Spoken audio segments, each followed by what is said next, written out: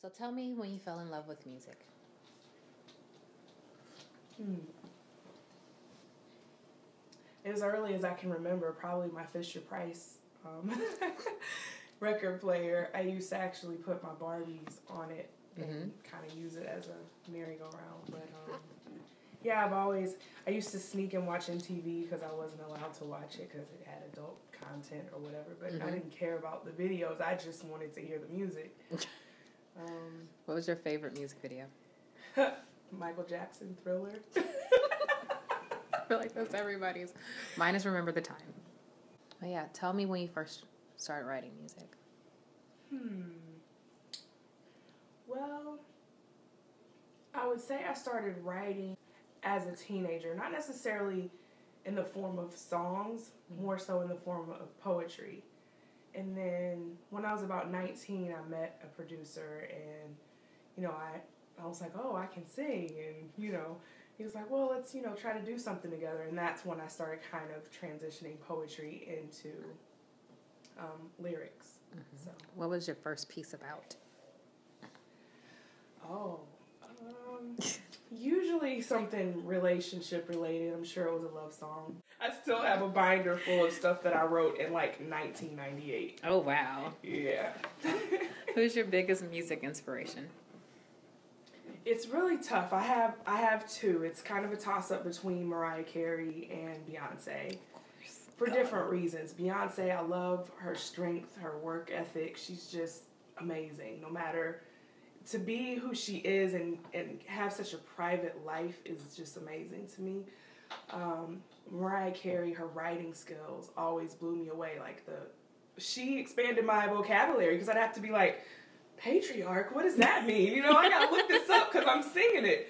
So I've always been a huge Mariah fan. The fact that she writes and arranges her own music is important to me. So I say those would be my, my two. But I've got I've got a long list, but those are my main ones. Yes, tell me about your indie artist list. Okay, so more recently, I absolutely have a thing for Abel Tesfaye, who is also known as The Weeknd. Mm-hmm. Love him, especially his earlier works.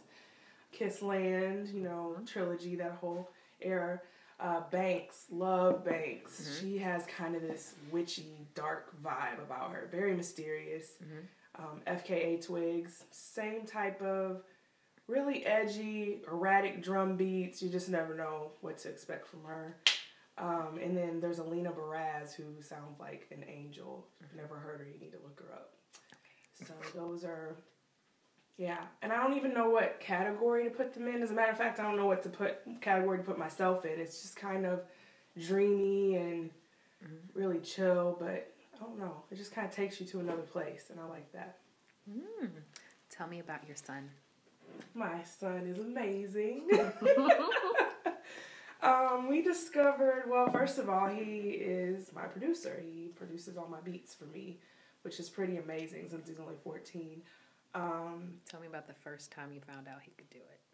it's crazy. He was 12 years old, and we were at my best friend's house who just happens to have home studio equipment. And she was messing around with it, and then through us being there a lot, he started messing around with it. And we didn't really think much of it because he would always have his headphones on, so we didn't know what he was doing. We thought he was just playing around. And then one day he goes, Hey guys, listen to this. And we're like, You made that? and then it just kind of, he just kept getting better and better. And he just, it's crazy because he's the kind of kid that's never really had a love or stuck with anything for very long. Even basketball, I- he used to play basketball, but he never really quite latched onto it. And this is something like as soon as he gets home, this is what he's doing the whole day. So. Talk to me what it's like working with him and having, you know, your content and having him be so young.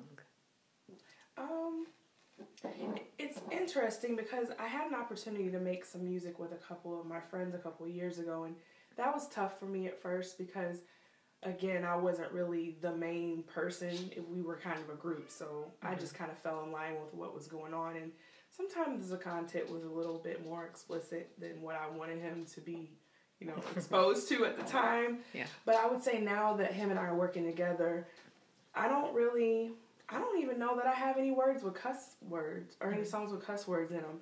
Um, I feel like just naturally the way I write is kind of tasteful Mm-hmm. because I don't feel the need to, you know, just put everything out there like that. So Right. I, it seems it just flows. It's just natural.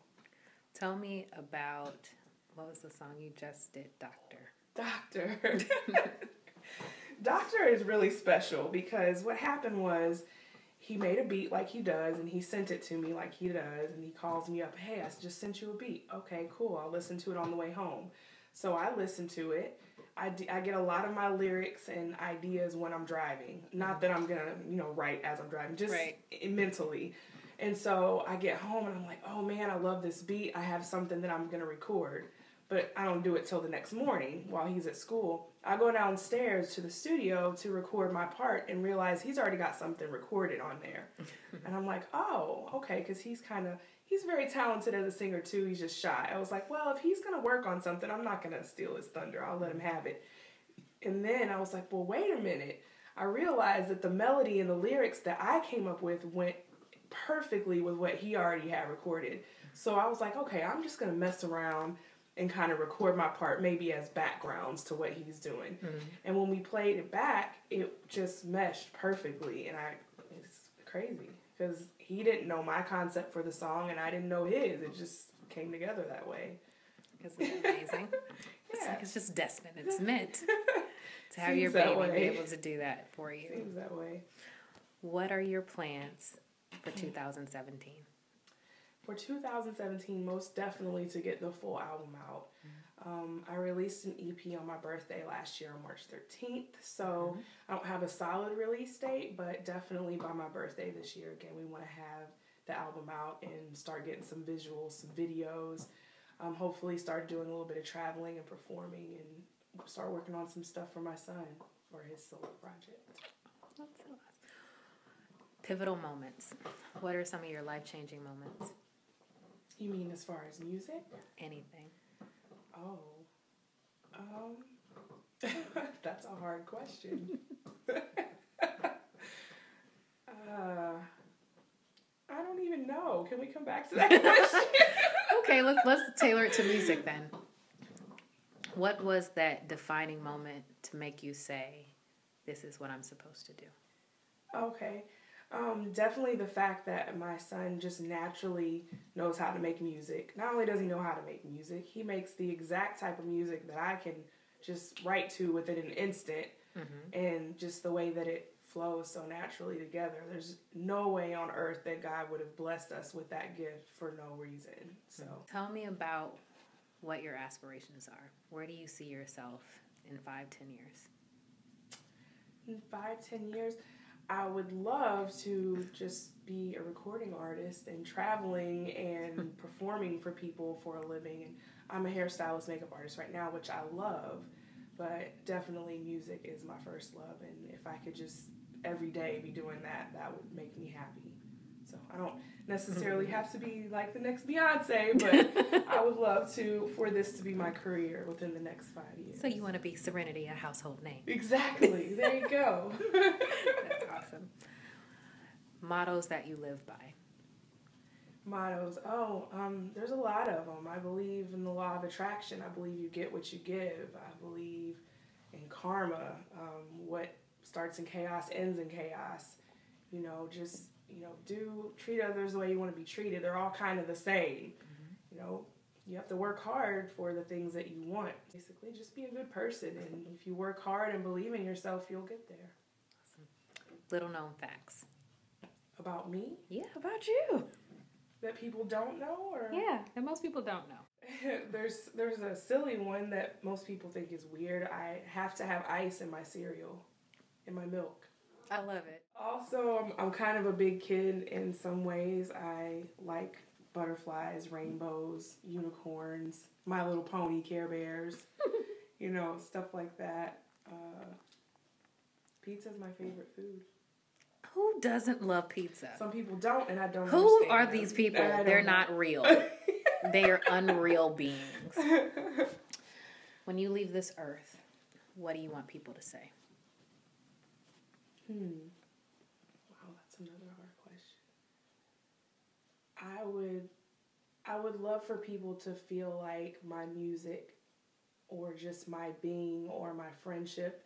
I would love to feel like I touched their lives in some way, even if I didn't know them personally. Mm-hmm. That I helped maybe help them through a hard situation or just made them feel better that day. So basically, that's it. Closing remarks. Um, I don't know. Everyone, just love yourself. Don't let anyone dim your sparkle, and remember the things that you're passionate about are your calling. That's what you're supposed to do.